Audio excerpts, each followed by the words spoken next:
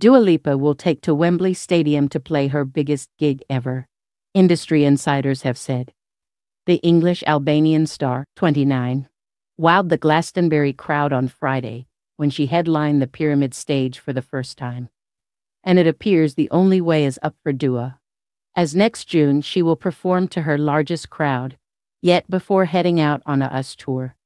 Speaking to The Sun, a source said Dua will play to a 90,000 strong crowd at Wembley next year, following in the footsteps of the likes of Madonna and most recently Taylor Swift. Her last tour was as good as sold out, but it was an arena tour, the source said. To make the jump to stadiums is amazing, especially when she's only on her third album.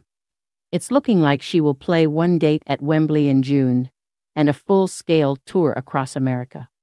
The source said it will be an emotional moment for the pop star, as it will show the work she has been doing since moving to London from Kosovo at the age of 15 has paid off. After her magical set on the Pyramid stage, Dua hosted a private backstage bash where she thanked her inner circle and wished her mum a happy birthday.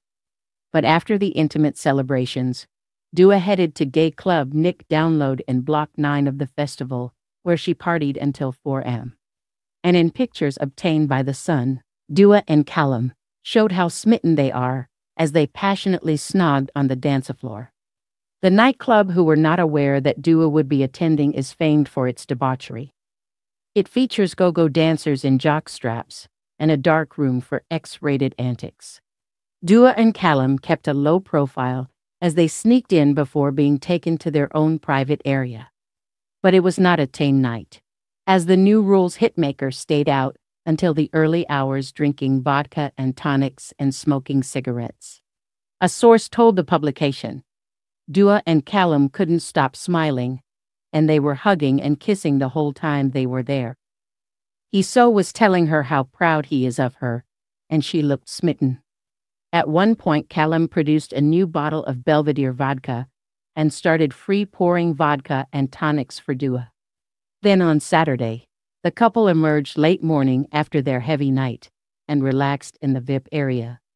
Dua puffed on a cigarette while Callum wrapped his arms tightly around her as she relaxed. After headlining the Pyramid stage on Friday night, Dua enjoyed some well needed downtime with the actor at the star studded festival. The Houdini hitmaker cozied next to her love after her show divided fans with claims of sound woes and false miming accusations.